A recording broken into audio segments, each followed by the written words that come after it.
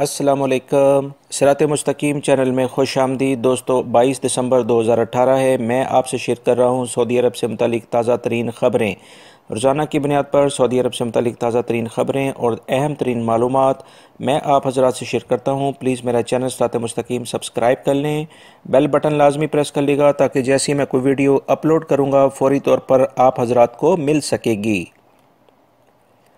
دوستو، تمام مسلمان جو کہ خاص طور پر سعودی عرب میں رہتے ہیں اور حج عمرے کی سعادت کے لیے سعودی عرب میں آتے ہیں، ان کے لیے ایک اہم ترین خبر ہے جو کہ میں آپ سے شیئر کر رہا ہوں۔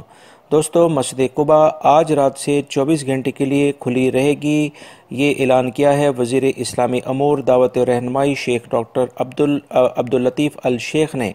انہوں نے اعلان کرتے ہوئے کہا ہے کہ خادمین حرمین شریفین کی ہدایت پر مسجد قبا آج رات سے چوبیس گھنٹے کے لیے کھول دی جائے گی۔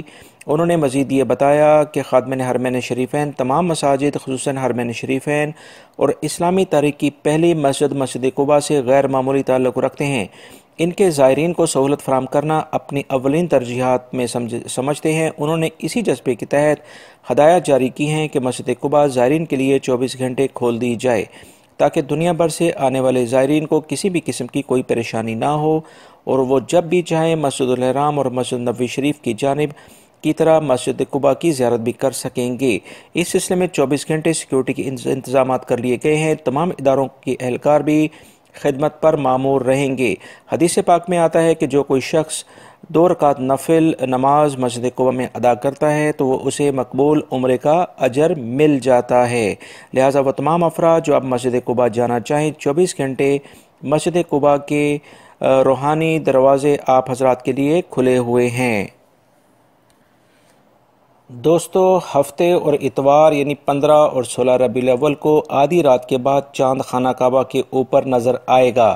یہ بات ماہر فلکیات نے بتائی ہے۔ انہوں نے توجہ دلا کر یہ بتائی کہ ہفتے کی رات بارہ بج کر اٹھائیس منٹ پر سعودی وقت کے مطابق چاند خانہ کعبہ کے بالکل اوپر نظر آئے گا۔ کوئی بھی شخص اسے کسی آلے کی مدد کے بغیر دیکھ سکے گا۔ اتوار کو نصف شب یعنی آدھی رات کے بعد ایک بج کر اکتیس منٹ پر یہی منظر دوبارہ وقوع پذیر ہوگا۔ لہٰذا وہ تمام افراد جو کہ خانہ کعبہ کی ڈائریکشن سعودی عرب میں رہتے ہوئے دیکھنا چاہتے ہیں، تو وہ اس چاند کو دیکھتے ہوئے واضح طور پر اس ڈائریکشن کو دیکھ سکتے ہیں۔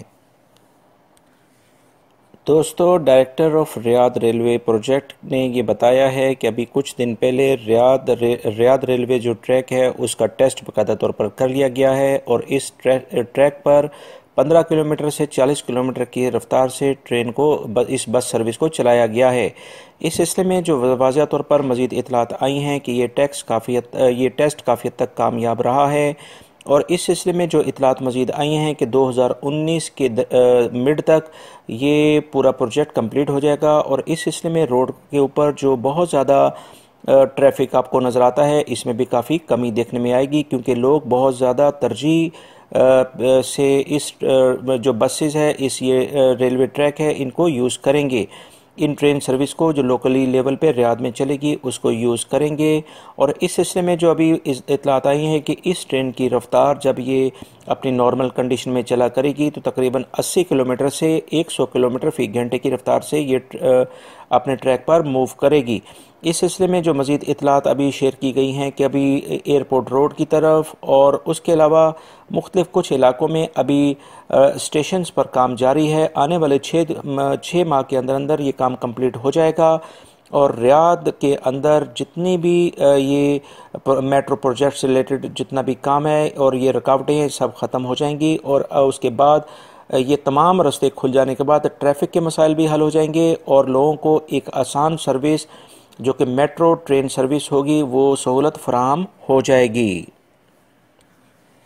دوستو، ہندوستانی ریاست کرناٹک کی پہلی خاتون کو سعودی عرب میں ڈرائیونگ لائسنس ملنے کی خبر سے ہندوستانی ذرائع بلاگ نے نمایاں طور پر اسے شائع کیا ہے۔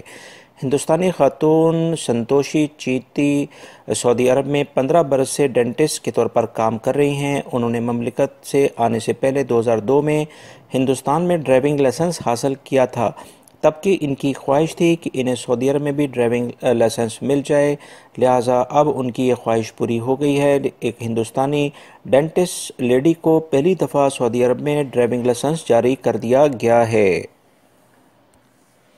دوستو، محکمہ موسمیات نے اعلامیہ جاری کیا ہے کہ مکہ، جزان اور اسیر ریجن کے علاقوں میں غرد و غبار کا طوفان چھایا رہے گا۔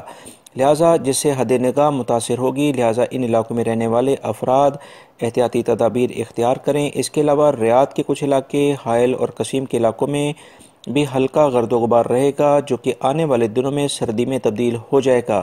لہٰذا وہ تمام افراد جو کہ ان علاقوں میں رہتے ہیں، وہ احتیاطی تدابیر اختیار کریں۔ دوستو، یہ تھیں آج کی تازہ ترین خبریں جو میں نے آپ سے شیئر کی ہیں۔ امید کرتا ہوں میری اس ویڈیو کو آپ لائک ضرور کریں گے۔ اس کو اپنے دوسرے دوستوں سے بھی شیئر کریے گا۔ اپنا بہت سارا خیال رکھیے گا۔ السلام علیکم۔